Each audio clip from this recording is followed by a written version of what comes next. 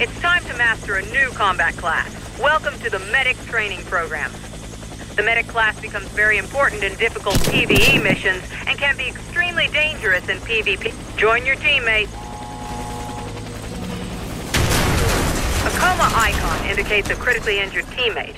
As a medic, you can revive him by using your defibrillator.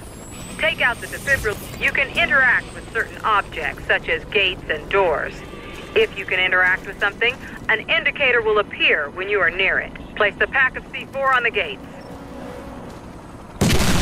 You've been hurt by the blast. Thankfully, medics can heal both themselves and their teammates. Heal yourself. Thanks, man. As a medic, you come armed with a shotgun. This makes you the deadliest class at close range. Head down the street and take out as many targets as possible.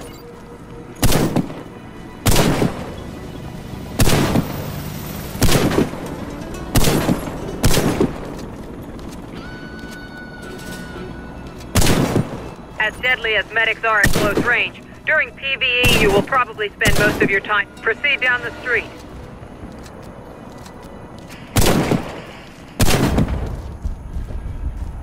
All soldiers of Warface can perform a sliding move. Slide under the obstacle.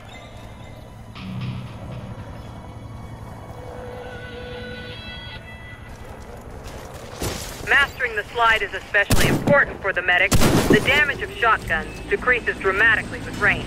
When enemies are far away, the offense of medics is not very efficient. Try and hit the distant target. Every soldier comes armed with a pistol. It is not nearly as powerful as your primary weapon, but it's... Proceed to the evacuation point.